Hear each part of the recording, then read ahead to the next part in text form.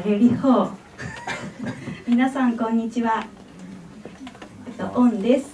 え今日は私の台湾生まれ日本語育ちというエッセイ集観光記念イベントにいらしてくださってありがとうございます。今日は本当にあの一番最初に白水社の方からこういうイベントを催すということでどういう方とお話ししたいと言われてあの何でもいいよどんな希望言ってもいいよって言われてじゃあ中島京子さんでって言ったらご快諾いただいて本当に幸せな気持ちでここに座っています。で今からあのあ私はもともと中島京子さんのファンなんですけども実はすごく嬉しいことに自分のその最初の小説皇居高麗歌という小説を書いてあの最初に単行本化になる時に京子さんが帯というか推薦文を書いてくださいました。でその推薦文というのがやっぱり私大好きだったのでどういう内容だったかというとあの人間人間は言葉を獲得して生きていくものだ。たとえ人参と人生の区別ができなくてもというものでした。でこれはあの中国語学習なさってる方ならピンとくると思うんですけどもあの中国語で人参って連戦って言います。で人生は連戦って言います。で連戦と連戦って私は台湾人だけど全然区別ができなくてそのことをすごい悩んでるみたいな悩みながらこうなんとか受け入れようっていう内容の小説だったのでそれを京子さんが一読してくださってそこを切り取ってそういうふうにおおらかに肯定してくださった一文を寄せてくださり本当にあの時から 感謝の気持ちいっぱいです。で今回もこうしてエッセイ集出した時にこうしてお話あのお話を聞いてくださるということでお越しいただいてとても嬉しいです。皆さん今日はあの京子さんの話をいっぱい聞いてください。あのご紹介ありがとうございました。あの中島京子と申します。えっとそうなんですね。あのおんやおんさん初めてあのおんちゃんって呼んでるんですけどもあのあの本ちゃんの小説を読んだのはその「えー、来福の家」っていうあの素晴らしい辞書を取ったものが入ってるあの短編集なんですけどもそれであの非常にですねそれはあの、まあ、もちろんこれを読まれた方はたくさんいらっしゃると思う思うんですけど、まあ、これに書いてあることともあのねだいぶあの内容的には重なってくるようなその台湾でお生まれになったんだけれどもすごく小さい時に日本に来てでその言葉をあの、まあ、日本語を獲得してあの、まあ、人生彼女の人生がこうどんどんどんいくんだけどもお母様のあの話す言葉とかがあのとてもここには「ママ語」って言って出てくるんですけど中国語と台湾語と、まあ、日本語とが混ぜこぜになったものでこう学んだりあとはその学生として学生として中国語を勉強した時のまあなんというか戸惑いとかねいろんなそういうものがこう書かれている小説ですごく私はあの感銘を受けました面白かったというのがあるともう一つは私も中国語を学生の時に勉強したことがあって人参と人生は本当に難しかったですね。そうそういうことがありましたので、まあ、あの温さんのことはすごいあの大好き。そその後あのいろいろね一緒にあの台湾に行ったりとかなんか花子とアンを一緒に見て語り合ったりとか、ね、いろんなことをしておりますので本当にあの仲良くさせていただいてるんですけども今回あのこの5本を本当にでもこれ4年間。そうですね。4年間ずっと連載されてたんですよね。はいのろのろ歩きましたいやすごい本当にあのみっしり密度の濃いあのエッセイ集で本当にこの4年間あのすごくあの日本語のこと言葉のことそのご自身とかのアイデンティティとかいろんなことを考えてこられたんだなっていうのがあの本当にあのちょっと胸にしりくるというところもあるあのおでした。でももうなんか本当にそれを伺ってるだけで嬉しいんですけどもやっぱりあの最初に白水社の方から、うん、あの言葉にまつわるエッセイを書きましょうっていうふうにお声かけていただいてで最初は本当に自分の人参と人生を区別する最初と徳の過程をこう語学学習記みたいなええ。ノリで書こうと思ってたんですね、ええ。そのここまでか分かるようになったとか、うん。こんな風に喋れるようになったって思ってたんですけども書いてるうちになんかその台湾と日本のその関係についても思いを馳せるようになっちゃって、うん。ですごく自分は日本語であの生きてる台湾人だけど日本人にとっての台湾と台湾人にとっての日本のどちらもなんか見えるような見えないような気持ちになってきてでだんだんこういう語学学習期とは関係ない感じの進み方をしてしまったなって思うんですね。うんでもねなんかすごくあの私は全然台湾生まれじゃないんですけども 私のあの個人的なその台湾経験というのはあの大学を卒業して日本語学校っていうところで働いてたんですけどその時台湾の学生がすごくたくさんいたんです。それがね86年だからね考えてみると結構すごい台湾現代史においては結構すごい年なんですけども、まああの割とぼんやりした地味だったんですが あのそれであのお会いしてあの台湾の人たちを知ったというのが初めだったんです。でなんか陽気な楽しい人たちだっていうそういう印象だったんですけど、まあ、それからあのちょっと台湾にはこう親しい気持ちを持ったりしてでもあのた例えばあの姉がそのフランスに住んでんだけどそのフランスにいる姉が友達になった台湾の人がいてその友達のうちにあその子が帰省する時に姉も日本に帰ってくるからっていうのでじゃあ台湾行っちゃおうって言ってで、まあ、私も一緒に出かけたりとかしたんです。そしたらあの遊びに行ったらその子のお父さんは日本語は喋らないんだけど、その子のお父さんよりちょっと上の人たちっていうのがやっぱり日本語世代で日本から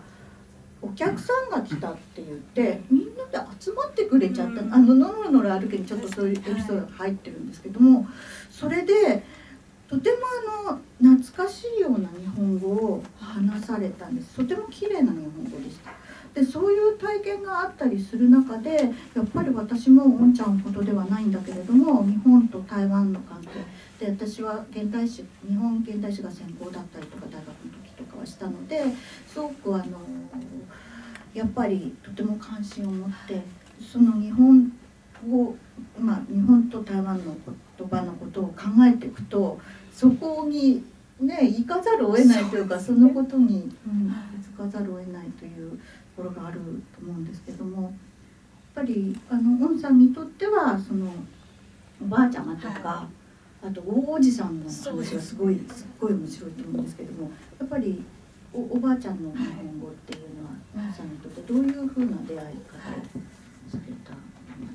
そうなんですうちやっぱり台湾人で日本育ちっていうことで両親は外国人として日本にいるからやっぱ日本語がいつまでもちょっと外国風というかたどたどしいんですけどその両親の両親になるとなぜか両親以上に上手な日本語を話す状況でで子供の時は全然それを不思議に思わなくてうんみんなそうやって喋ってるんですね。でしかもおばあちゃんとかはお手洗いのことをご婦女とか言うんですよ。ご不浄ねね。昔の人が言いましたよそうそうそうね。でもそんな日本語を同級生も言ってなかったし、うん。ね、周りの大人も言ってなかったからやっぱりえー、なんか日本語なのにちょっと時間が、そうの遠くにある。ような。はい、うんとかね、うん。私もその時お会いしたあの方がタバコ本を取ってきてって言ったんですよ。それでタバコ本っていうものは私はまあイメージなんとなくできるけどあのおばあちゃんがキセルでポンってこうやるああれだよなって思うけど灰皿をね、はい。探してらしてでも使わない日本語ですよねそうもうね。だからそこになんかこうちょっとこうとと凍結されたじゃないけどあそこにはそういう日本語があるっていうのはすごく発見でした。なんかちょっと不思議ななんか温かさも感じるし、で子供の時はそれが面白かったんですよ、うん。あのハンサムとかイケメンは分かんない。色男が分かるとかねそういうのはあるんだけどでもやっぱりあの大きくなってくると、うん。なんで、うん。あの自分のおじいちゃんおばあちゃんたちのような台湾人があんな綺麗な日本語を今も懐かしそうに喋ってるんだろうって、でそれに対して私はたまたま台湾人だったんですけども日本で育った人間としてすごいやっぱ複雑なああそうですよね。ななんでだろうみたいなことは思うようになりましたね。そうですね、そしてやっぱりその植民地政策って日本の植民地政策っていう歴史の生んだことなわけだからちょっとね複雑というか、うん、懐かしいほのぼのっていう話でもないだろうっていうね。そうなんなんかいやか彼らはそれ押し付けられてたから、うん、今も日本語流暢にはお話ししてて、うん、でしかもその後であの国民党が台湾に行って今度は中国語を強いたから、その中国語とか国民党で複雑な感情で日本を懐かしがるようになって、あえて懐かしい台湾語を喋ってみたいな状況の中に日本育ちの私はイエス言うべきかノー言うべきかみたいな。で一時期はそのおじいちゃんおばあちゃんが綺麗な日本語で喋るのに複雑な気持ちになりすぎちゃって、もう自分はなるべくおじいちゃんおばあちゃんの母語である台湾語喋ろうみたいなちょっと意気込んだ時期も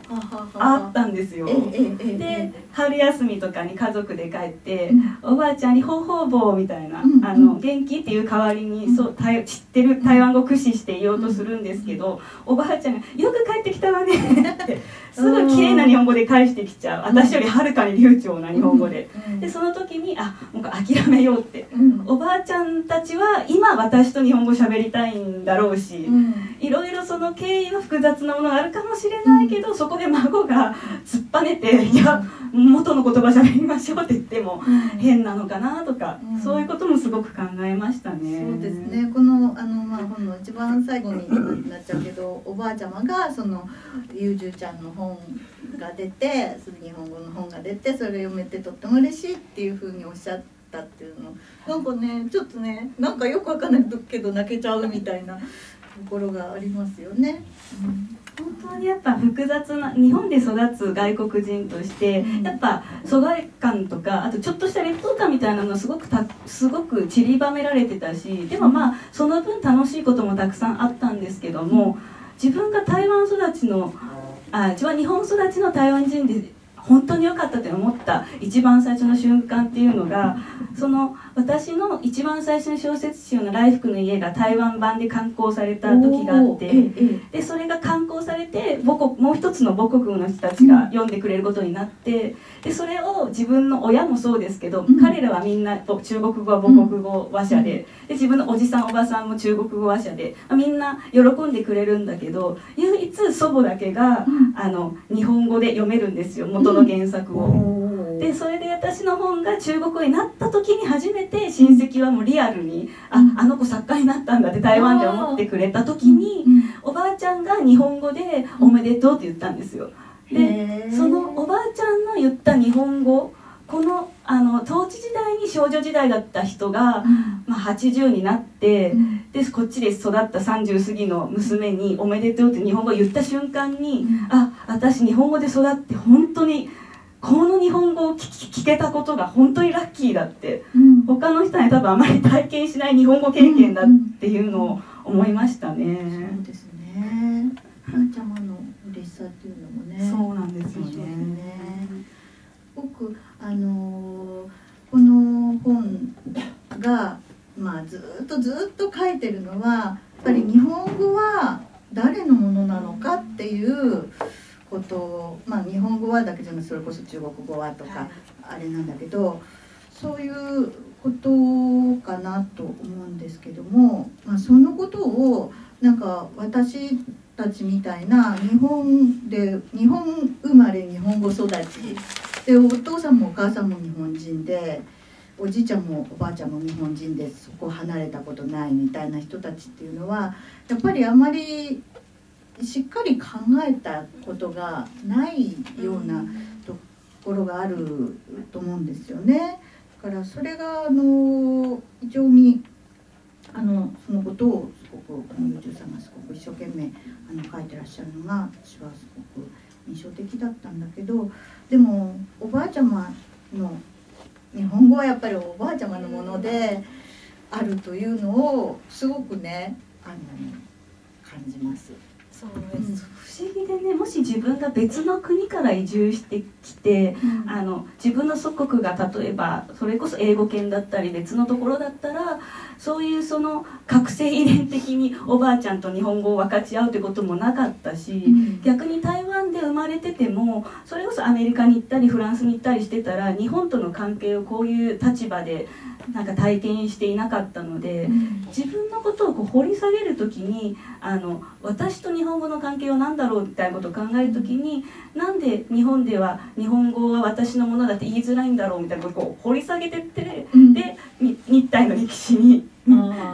歴史をもっと知りたくなったっていうのがあってすごく個人的なあの動機から始まった連載だったなって。そうそうね。でも本当なんかその誰の誰のもの問題っていうのは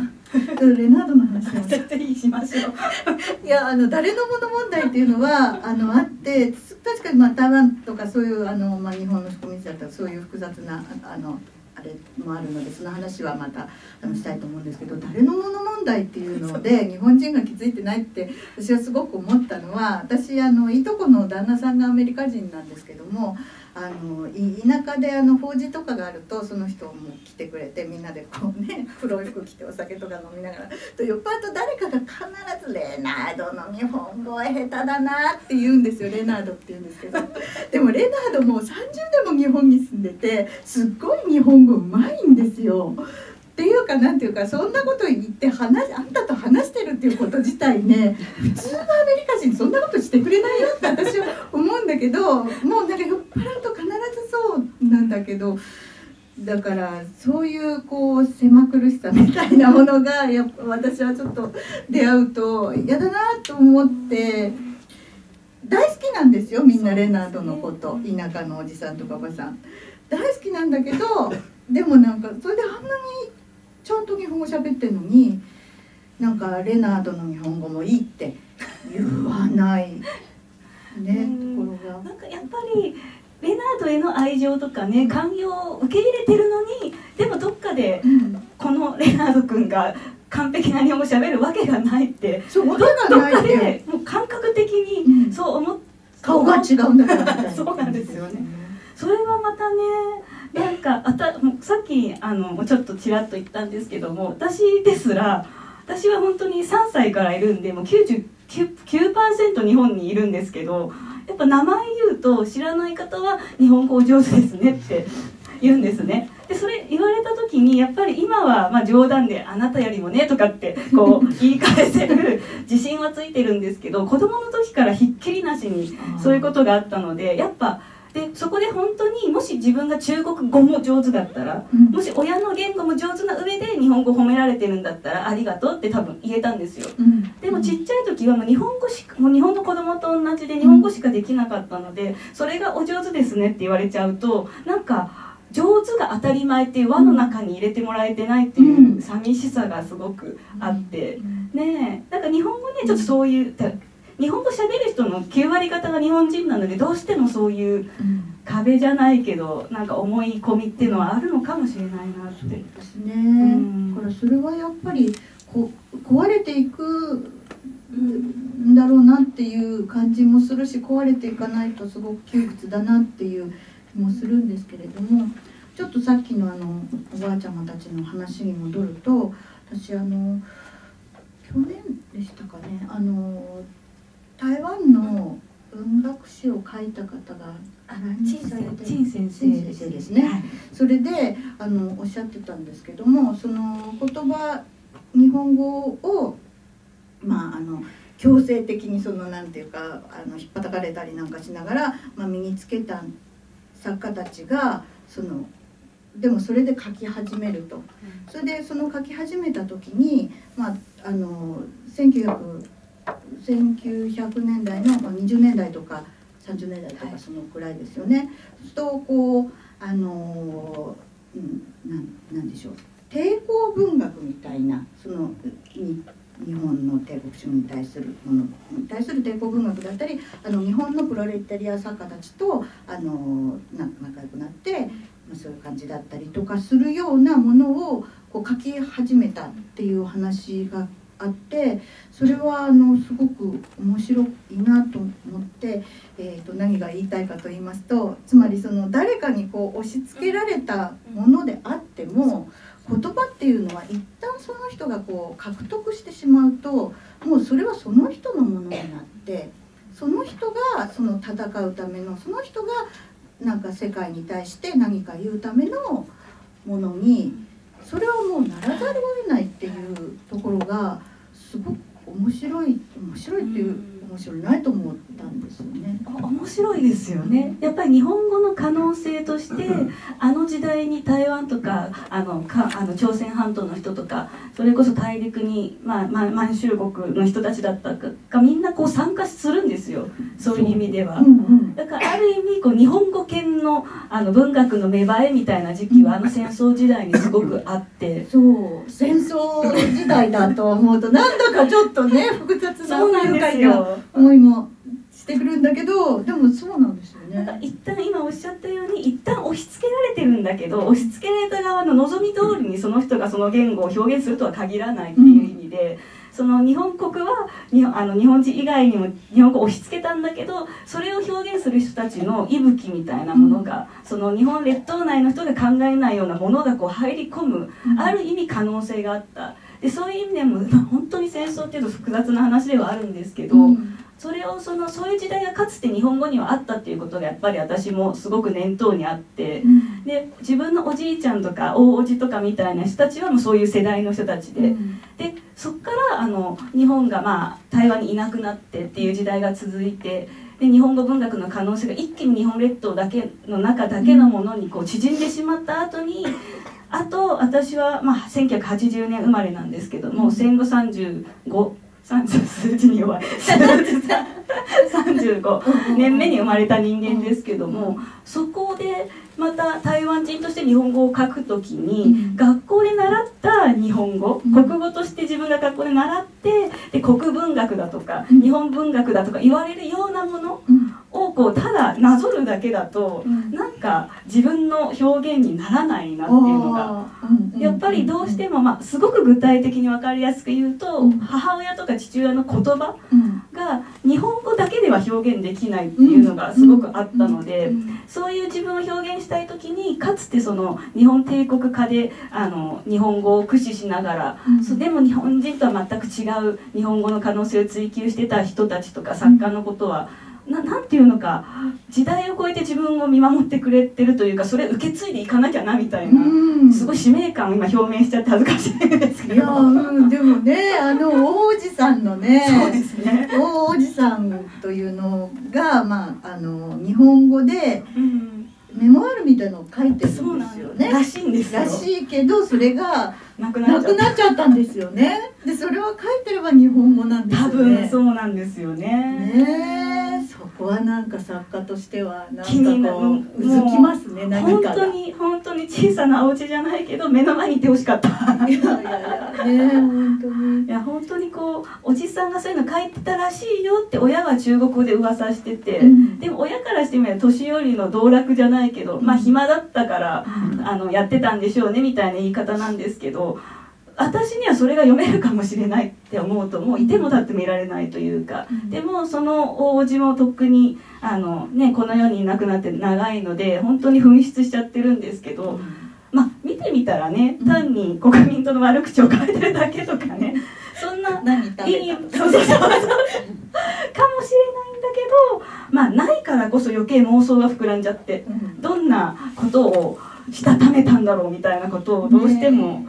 どうしても多分一生想像しちゃうかもい。やーそれはオンさんがきっと何かの形で 書くのではないでしょうか。だからなんかお自分の血縁関係のある祖父とか王子じゃなくても、うんあの時代の台湾人たち、うんそれこそ私の祖父母はもう本省人って言って、うん。戦前から日本にいる人たちですけど、うん。まあ戦後から日本あの、うん。台湾に渡った人たちだとかいろんな台湾の物語みたいなものを、その日本で育った台湾人としてどうやって関わってうん。でそれを自分の今表現したいことと結びつけていくんだろうなっていうのはこの連載あのこの本の連載を終えた終えた時からやっぱりぐるぐるこうなんていうんだ自分の課題みたいになってますね。そうですよね。そこあのこのえっ、とご著書の中にもあの六角尺の話がたくさん出てきますよね。六角尺っていうのはその、えーと、日本統治下で、えーと、日本語を学んでで作家になったあの台湾の作家なんですけどもあの日本語で書いている作家ですよね。なんかその日記は、あれはあれなんでしょう？日本語で書いてるんでしょ、はい、でもでも、はい、日本で見つかんないよね日本も台湾に残ってた日記ですからね。で台湾では六角弱日記は出版されてるんだけど、はいね、翻訳なんですよね。そう台湾ではあの趣向を写真で撮った日本版とあとまあそれを残そうって思って意思を引き継いだ方が中国語に訳してるこんな分厚い、で持って帰る大変でしたよ。ですよね。スーツケースの中で場所取る取るみたいな。でそれをやっぱ台湾でも台湾の中でもやっぱそういう時代に関心がある方とか、やっぱそういう人は読むんだけど一般的にはそんなにもうあの、うん、やっぱそのなんていうの戦後の私の世代の台湾人だともうちょっと違うんですけど私の両親の世代の台湾人のまあ一般的なこれが全てではない一般的な感覚では。両親の代はちょっと奴隷教育受けたみたいに教え込まれてるんですね、戦後。日本の教育はそうだったそう、なので上の世代のその日本語を書いてきた人たちは奴隷化されてるものだみたいな、でちょっとないがしろにしちゃうようなところがあって、あんまりこう光を当ててこなかったんですけど。ここ最近ですよねそういうね90年代入ってからですね。ですよね。うん。うん、話も。面白い。あれは趣向は全部入ってるわけじゃないんでしょ？う、どうでしょうね。なんか私も持ってきてパラパラ見たんですけど、えー、ほぼ3年分ぐらいのが一応綺麗に写真撮って並んでますね。なんか、うん、面白い作家ですよね。ねかっこいいんですよ。それでハンサムなんですよね。レオみたいな。そうなんですよ。それでいやなんかか歌手だったっけ？そうなんです。オペラ歌手かなんかなんだよね。なんかあのリコーランのバックダンサーもやったことがあるみたいなことで。そうすごいかっこいい。ね、でそれでその六角尺っていう作家の人が書いた作品にカメラ日本あのにカメラマンが出てくる、うん、あの小説なんだこの本の中でもちょっと触れたんですけども、私どうしても非常上司のトニー・レオンのイメージが 結びついちゃって。やっぱりトニー・レオンですか？そうなんです。このノロのある家の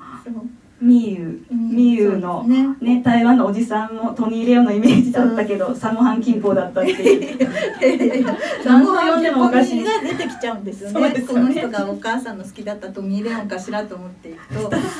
違うなみたいな。だいぶ違いますね。ですけどもそう。ねまあ本当に王さんがこれから何をどんなふうにお書きになるかというのはそのなんていうか日本日本、うん、日本語で書く台湾作家の、まあ、系譜の中でというか 別にそれをどうどうするっていうわけじゃないんだけど、はい、まあどういうふうにお書きになるのかなっていうのはすごくこの本を、うん、いただいて、うん、非常に面白い、はい、気に気になる点です。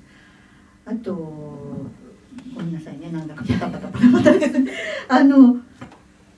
行ってきたんですよね。そうです。はい。総裁選。そうそうです。はい。これもまたなんかちょっと非常にホットな話題なので、はい。どうしても触れたい。あ、ありがとうございます。本当にあの今日今日って配ってますよね。なんかあの。この本の中であの4年前の台湾の大統領選挙について書いた文章があるんですけどもそのちょうどこの本が出版された1か月後に、まあ、4年後の大統領選挙があってそれが先月の1月16だったんですけども、まあ、行ってきたんですよ。でやっぱ前回はあの、まあ、本にも書いてあったんで読んでくださった方は重複して申し訳ないんですけども前回は私東京できなくてっていうのもあの2年間台湾に入ってなかったんですねそれ以前の2年間。でたまたまいろいろ重なっちゃって2年行けない時期が続いてで大統領選挙があってで国籍があればあの投票権はあるんだけどでも2年間入国してないとあのもうその年だけはできないっていう決まりが、まあ、当然の決まりだと私は思ってるんですけどでまあ行ってきてできなかった。で4年後は絶対にもうバンバンバンバン台湾行って投票してやろうって思って それがちょうどバンバンって言ってよなんだけどはいそのうちの1回は京子さんと一緒に行きましたねあそうですね。バンバン行きました。でまあ行ってきてあの最初はその何か書く予定で行ったわけじゃなくてただもう投票しに行きたい。もうそれを経験したいだけで行ったんですけども実際にそう行ってきたらもうなんか不思議な気持ちになっちゃってあの投票所に行って投票した終わったであ人生で初めての投票ができたっていう感動にもっと浸るのかな自分はって想像してたんですけどもうねなんかもうやりたいやりたいやりたいっていう話がだだこねて書いてあってできないって泣いちゃって。ね欲しい欲しいって。本当。こんな大人になってから泣くもんじゃないんですけどで行ってきて絶対すごいもう晴れやかな気持ちになると思ったんですよ。うん。でもやっぱりその台湾の状況というのか現実的に台湾人のこれからが変わるとか、うん。そういうことも頭にあったしあとやっぱ悶々と私は台湾で投票できるんだって逆に。ああ住んでないってこと、うん。でなんで日本では一回もできないんだって。そうなんですよでね逆にこうできたのに、うん。そのことへの疑問みたいなものが湧いちゃって、ええで自分は国籍を持ってるから台湾で一票投じれるけどうん。台湾で投票権持ってないけど生活してる人たちもうん。たくさんいるのに、うん。私は一体何の何の代わりになったんだみたいななんかすごいこう変な変ななんか罪悪感みたいなものもあってうん。でそれで一番思ったのはやっぱり国籍制度の矛盾ですね。そうですね。この国でなら投票できる、うん。でも日本ではできない。うん。だから私はやっぱり国というものに対してうん。まあ永遠に懐疑心があるんだなということをすごく思って。うん。でもなぜじゃあ投票したのかっていうとまあ本当に民主主義うん。のためだなって思って。もう権利があるならじゃあやろうって。でもそれは決して中華民国とか日本国のためじゃなくてうん。その個人が何かを選ぶその権利をこう行使領使こう行使うん。行使することがある意味人間にな個人として自分が果たしたかった責任なんだなみたいなうん。気持ちになって戻ってきたんですうね。ん。でこの感情をまあ私はやっぱちっちゃい時からうん。もう作家の方はみんなそうだと思うんですけどやっぱ書くことでなだめるしかない。うん。もうなんか食べても まあ満たされたちょっとは満たされた 食べて、美味しいからちょっと忘れようと思って美味しいもの食べてでこう楽しく過ごして親戚とワイワイやって楽しくして、うん。なんとか自分を晴れやかに持っていこうとしたんだけどでもやっぱりどうしても落ち着かなくてでうん。結局日記帳にバーってこうその時の気持ちを、ええ。まあ、誰にも見せるつもりなく書いてたんですけど帰ってきたらあの白水社のあの担当者である杉本さんがうん。ちょっとレポートを書いてほしいって言われて、うんえいいんだって思ってもう連載終わってるから発表の場もないからそういうことないと思ってたのに、うん。まあ、書かせてもらってでちょっと落ち着いて。でも落ち着いたんだけど、うん。こういう時に日本語しか書けない自分。うんをまたちょっと思っちゃって。うん。すごく自分と台湾と日本語の関係のこう不思議ななんか拮抗みたいなものを、うん。まあ、1ヶ月前感じてましたね。うん。そうですね。まあその言葉のもんまあねおんちゃんは作家だしいろいろ言葉のこと考えてる方だからすごく言葉のことにこう修練していくようなところがあるけどでもやっぱりそその辺になるとやっぱりその制度の問題というか日本どうなのみたいなことはすごく思うんですね。このあのご本を拝読してもこのあのた例えば母母語とは何か母国語は何か特に母国語とは何かっていう話の中にあのもしもその日本がまあおんちゃんは生まれてないからまあちょっと違うのかもしれない。けど出生地主義ってそのこの国で生まれた人はこの国の人とか、まあ、あのいろいろ日本とは全然そういうこう制度の違う国ってたくさんあるのであのそういうところとこう比較した場合にあのおんちゃんがもしそういう別の国に行ってれば抱えなかった葛藤を抱えてしまってるところもあるのかもしれないなっていうのはすごく思ったんですよね。そうですねやっぱ日本だって日本のことも自然と考えちゃうというか、そうですよね。なんかうちあの姪っ子が生まれたんですけどあももちゃんですねももちゃんが生まれたんですけどももちゃんのお父さんは渡辺君って言って私の弟なんですけどええ日本人なんですね。だからももちゃんが生まれてあのい姪が生まれて思ったのは生まれつき日本国籍なんですよ。あそうですね当たり前のように。当たり前なんだけどね。ですねだからそれがやっぱり不思議で私自身は自分の子供いないんですけども、うん。こうやって葛藤をまあしながら日本語書いててうん。でまあ子供うん日本人の夫の子供を産んだ時にうん。自分がもう欲しい欲しい思ってるものが生まれつき授かってる状態なんだなみたいなことを思うと、うん。なんかやっぱり制度って不思議ですよね。そうですね。うん。この中にそのえっ、と永住権でしたかしら、その定住者、はい。あのえっ、とあのべ弁護士の先生みたいな方がおんちゃんのうん。一番言いたくないことを書いてくれたっていう話があるんですけども、はいその話もちょっと、あはい。面白いって言ったら失礼なんですけどいや。うわーと 私はちょっと思ったので。やっぱ永住権を申請することになってあの父が今まだ中華民国籍なので最初父を筆頭にみんなで帰化帰化じゃない永住権をもらおうとしたんですけどもやっぱ滞在日数が少なくてうん。父親はあの今でも上海とか台北とかぐるぐるいいる人なのでちょっと滞在日数足りないからさすがにちょっと永住権とは言い難い感じにお返事もらったのでそしたらまあじゃあ日本育ちの姉妹だけでまずは永住に永住権取りましょうってなってでいろいろ相談してで私と妹はやっぱり妹は日本生まれでで私も3歳からいて教育も全部日本で受けててで家もこっちに住んでてなのでな全く問題ないんですよ。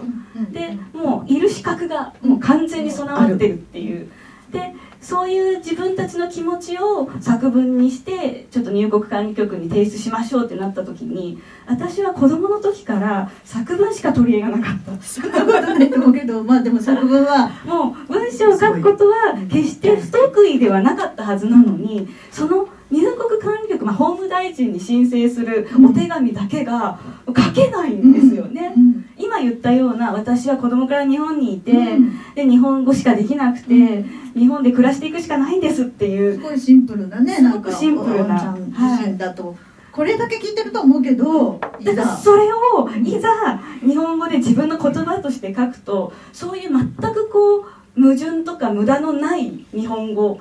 で自分を説明するのにものすごい抵抗がうん。あったんですね。もう実際はそれで集約されてるし何の問題もないはずなんだけど自分が日々日本語を書いてきてこんなに書きにくい日本語は初めてだって思って。うん。でごめんなさい書けませんって行政書士の先生に返事したら先生があっさり あっさり5行ぐらいで「私は99%日本人ですのでこの国に住みたいです」って書いてくれて。でもねなんか何この99%って何後の1%ってもうもう絶対作家は書けない文章ですよね。そうなんです。それが書けてたら多分こんなそうこ。こんな表現に向かおうとしなかった。そう絶対そう。だからまあそうそういうわけで本当にあのいろいろね日本の問題というのもはいあるし、そうでもねなんかあのおんちゃんみたいな方があのもちろんその小説とかそういった作品で発信していくことあるいはこうやってエッセイで発信していくことでなんかこうもうもうちょっとそのうちの田舎の親戚のレレナードの英語じゃないけどこう風穴が開いてというか、あのまあ制度で直接どうのっていうとまた違う運動したりとかそういう話なのかもしれないけど、まあ、そういうことではなくてこうあの空気が変わってくるとかねね。風穴が開いてくるようなことがあるのかなあればいいなっていうだから非常にあのあの頑張ってください。嬉し嬉しいです。ねね、なんかやっぱ日本語は誰のものだ問題で、うん。まあ、レナードさんのこととか、まあ、自分かつての自分のこととか今も現在進行形で日本で育ちつつある育ちつつあるんだけど、うん。お母さんとかお母さんが日本人じゃない人とか、うん。あるいはもうこっちに移住してきて日本に定着しながら日本をもう生活の拠点にしようとしてるのになかなか認められない人とかってたくさんいると思うんですよ。で私の場合はたまたまそのこういうふうにあの学校教育でばっちり日本語できるようになってでこういうふうに、まあ、本読むのも好きだったから書くようになってこう発言できる立場にいるけれども、こういう私の背後にはそうやって声を持ちたくても持てない、でも日本で生きていかざるを得ない人たちもいっぱいいるわけだから、なんか自分がその個人的なことをほんの一例として差し出すことによって、日本語の読者にとってそういうことをちょっと想像させるようななんかきっかけにつながるならまあ嬉しいし、うん、単にこう泣き言わめいてるだけじゃない風に自分の中で、うん、あの創作に向き合っていけるのかなっていうのはすごい思うんですね。そうですね。なんかやっぱりあの本当に単純な話あの外国籍の方とかも増えているしあのこれから多分もっと増えるとかね、うん、いろんなことを考えるともう制度の問題としてもそれこそそういう子たちの日本語の勉強をどうするかとかいろんなことがあるわけだけどもどんどん多分そこはこうひ開いていく未来が来る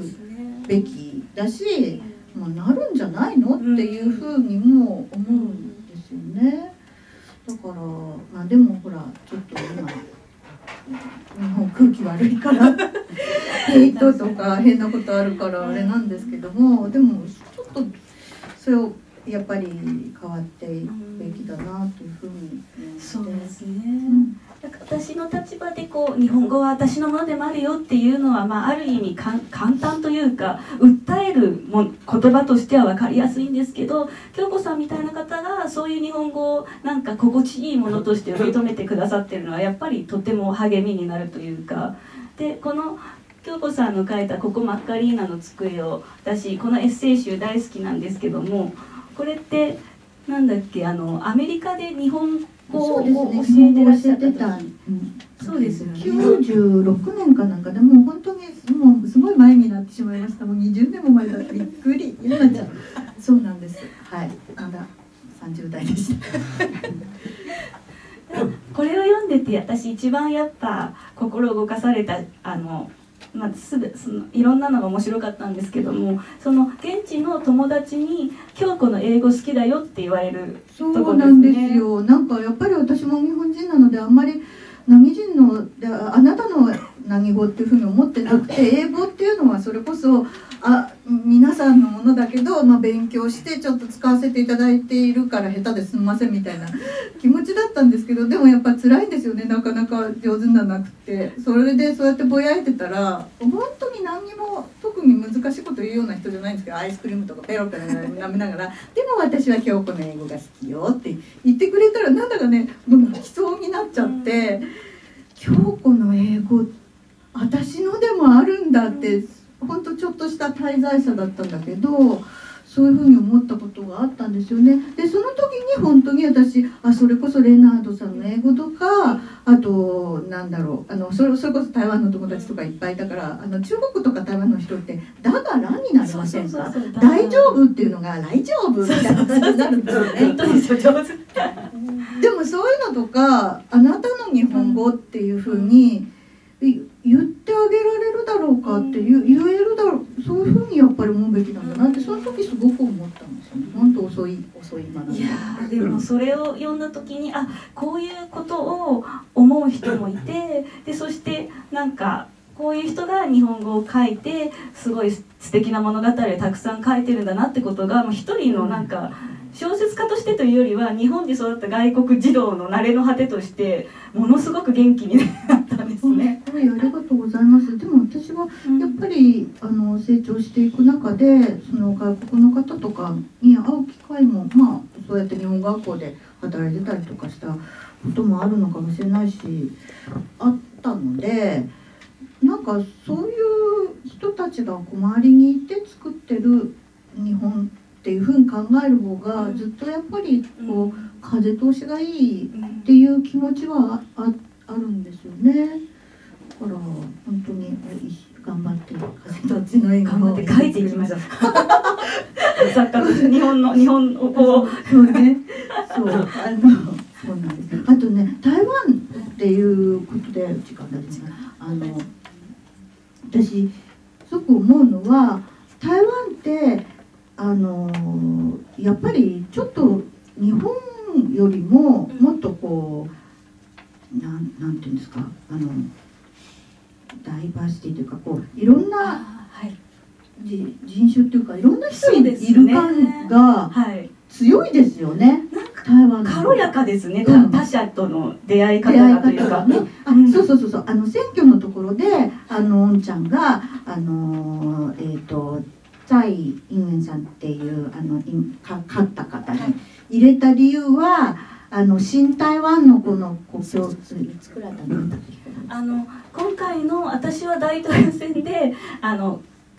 あの日本でもニュースになったと思うんですけども女台湾史上初の女性大統領誕生っていうことで盛り上がってるんですけどもその蔡英文に私も投票しました。でこの投票した理由っていうのが実は去年の年末ぐらいにフェイスブック経由である友人が蔡英文の蔡英文っていうんですけどね蔡英文さんの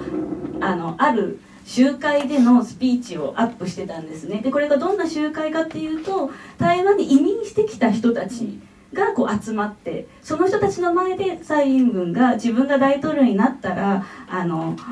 た中華民国台湾籍への帰化の手続きをもっと簡単にする。でもう一つが子どもたちの教育をもっとあの充実させる。えっと新新台湾のそうですね。あのあ新しくその台湾にそうですね。親があの大陸とかあの東南アジアとかから台湾で出稼ぎじゃないけど来ているような人たちが今もたくさんいてでその子どもたちが中国語ができない子がいると彼らが台湾で生きていくのが大変だからそういう子どもたちが将来苦労しないようにちゃんと教育制度を充実させますっていう約束をしたっていうあの動画があったんですね。でそれを見た時にあ私も親が何と言おうとん。左右に入れてやる。うんこれはもう台湾のことを思ってっていうのもあるんですけども、うん。自分が日本の偉い人がこんなこと言ったらうん。もう最高にかっこいい。うん。もう最高にロックだみたいに思って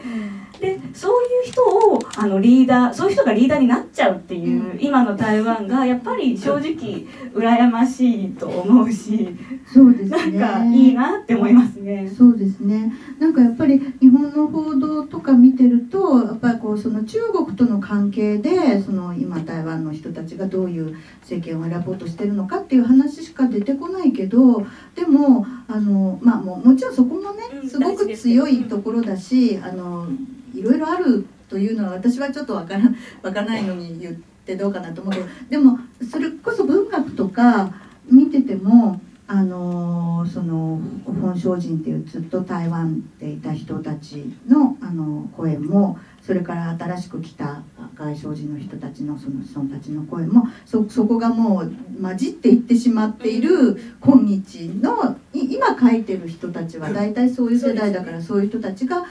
の声とかあるいはあのえっ、と少数民族の方のですね。文学とか、あの随分いろんなものが出てきてて、その辺もなんだかちょっと私日本よりも、うん、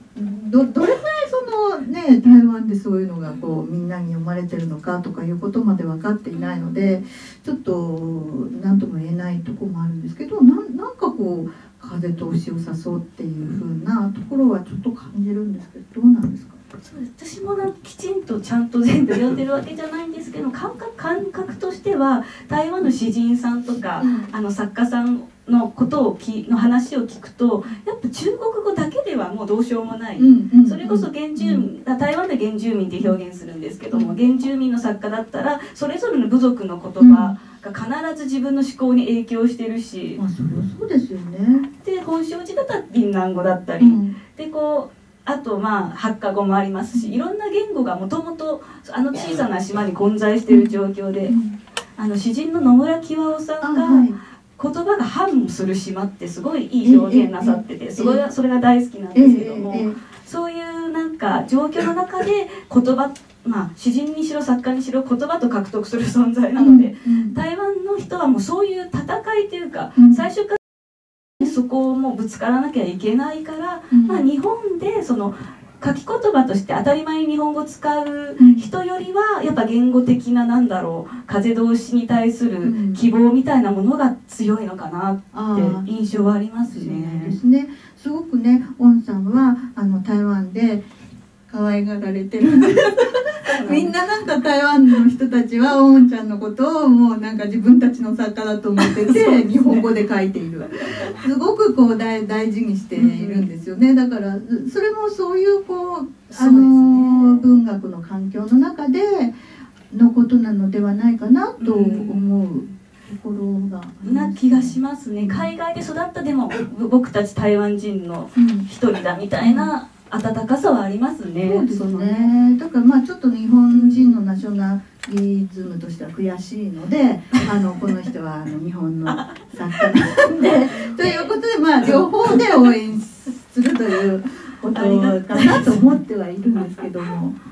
そうですだからどちらでもなくてどちらでもあるっていうのが自分の出発点なので今ねすごく京子さんがそうおっしゃってくれることは本当に頼もしいしなんかこいつはでも日本の作家じゃないしみたいな空気だったらさすがに心が折れるんで。そうですよね。そうかといってじゃあ私台湾に逃げればいいやっていうよぐらいその素直に多分台湾に帰れないと思うのでやっぱやっぱこうどちらでもないからこそどちらに行ってもつま先は置きたいみたいな、うん、ある意味、ちょっと元気なコウモリみたいな感じで、やっていけたらなとは思うんですけどね。ねでもまあ書き言葉っていう意味ではやっぱ日本語で書いてる作家なので私たちとしては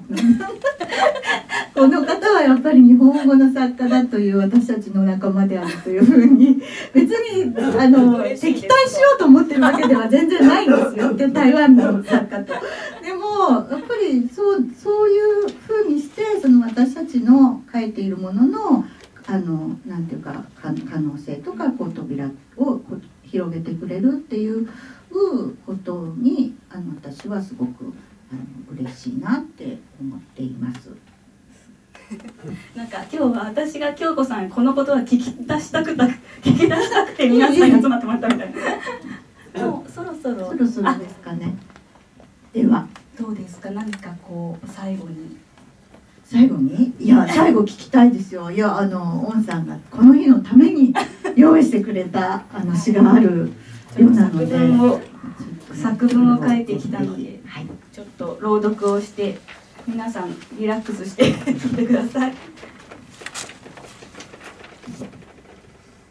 片言家族小論パバージョン。カタカタカタカタ片言家族。カタカタ片言。私の家族は片言家族これは日本語で何て言うの？父が聞く。あのねパパ。これはヤドカリ。ヤドカリって言うんだよ。ヤドカリ。そうそう。ヤドカリ。ヤドカリ。ヤドカリ。父が確かめるように。下になじませるように。何度もつぶやいていると。今度は妹に聞かれた「お姉ちゃんこれ中国語だと何て言うの？ん？なんだっえっとえっと私の代わりに母が妹に教えてあげる。記住谢記ち谢記住谢妹は確かめるように下になじませるように何度も何度もつぶやく。父と妹の声が交互に響く「やどかり」「ちずしえ」「やとかり」「ちずしえ」G2C ってどんな漢字を書くんだろう？ふと思った私傍らの母に聞いてみる。ママ図教えつもしえ？地図教えなんだっけパパ？と忘れした母父に台湾語で尋ねる。パパ図教えアナシアヤドカリヤドカリつぶやくのを一段落させると図教え住む。にカニん？あれは何でしたっけ？預ける？託す？あ、わかったと言ったのは私。夜の夜だ。どこかに寄る？寄り道をするの夜。寄って住んでカニで、チーツーシェ。チーツーシェ、チーツーシェ。唱えながら妹は笑う。ヤドカリって中国語ではチーツーシエって言うんだヤドカリって中国語だと偉そうだね。よって住んでカニチーツーシエだなんてヤドカリよりも偉そうだ。これは日本語なんて言うの？父が聞く。あのねパパ。これはヤドカリヤドカリって言うんだよ。これ中国語では何て言うの？妹が聞く。あのねこれはチーツーシェヤドカリは寄って住んでカニなのです。ヤドカリチーツーシェヤドカリチーツーシェ父の日本語。妹の中国語。私の台湾語。母の日本語。カタカタカタカタ片言家族。カタカタカタカタ片言家族。私の家族は片言家族。いろんな言葉が混じり合う。ヤドカリチーツーシェヤドカリチーツーシェ大人たちの声を聞きつけてお昼寝のももちゃん夢から覚める。あうあうあう。ねんねしてたももちゃんのお目目が開けば父はアコンおじいちゃんに母はアマーおばあちゃんに妹はママになって私はお姉ちゃんからアイーになる。おはようおはようももちゃんおはようくんパーボあうあうあう。ももちゃんは今1歳3月まだまだ片言。カタカタ片言。ねんねたっぷりくんぱーももちゃんシャオミーミー。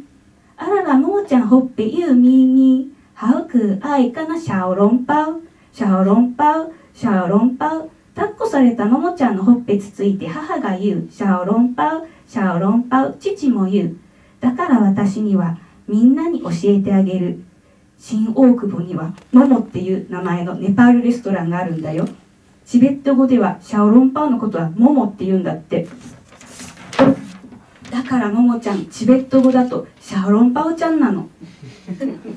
ももちゃんももちゃんシャオロンパウあうあうあうシャオロンパウシャオロンパウ我が家のシャロシャオロンパウはご機嫌だ。カタカタ片言片言家族。私の家族は片言家族。いろんな言葉が混じり合う。父と母の日本語。妹と私の台湾語。ももちゃんのハテナ語。私にやってきた新しい言葉たち。カタカタ片言片言家族。どれもこれも私の日本語。大事な日本語。